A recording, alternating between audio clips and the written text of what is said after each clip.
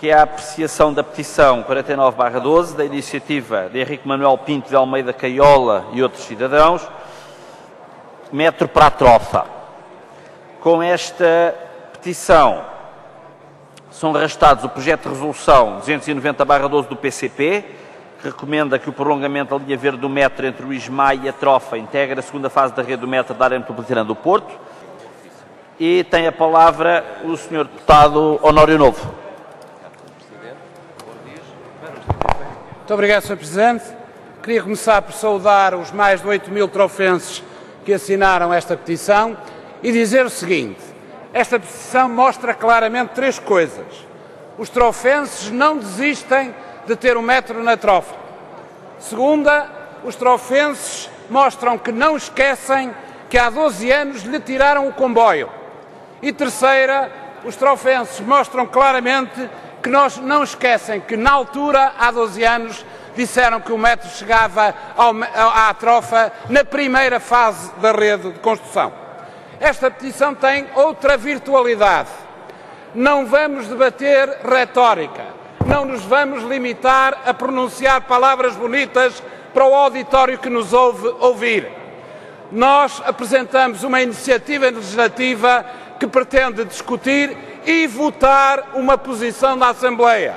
E a verdade é que o PSD e o CDS vão ficar nas boxes, vão ficar nas covas. Não apresentaram nenhuma coisa em concreto.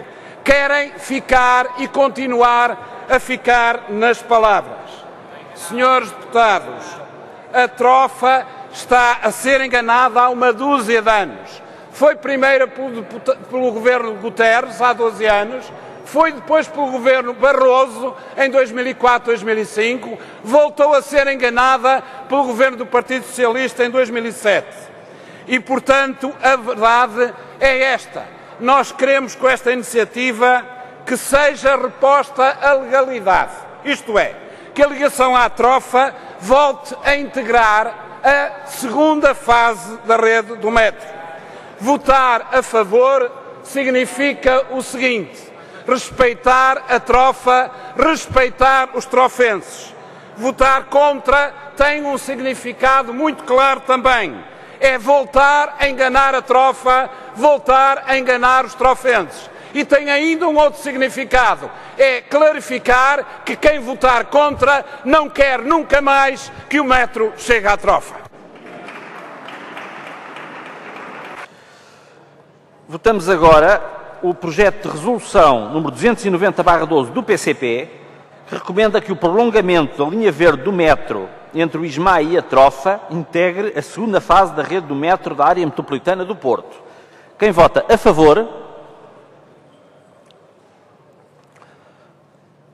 obrigado. Quem vota contra?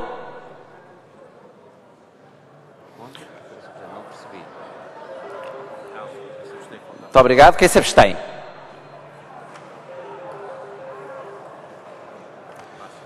O projeto de resolução foi aprovado. Teve os votos a favor do PS, do PCP, do BE e do PEV e teve as abstenções do PSD e do CDS.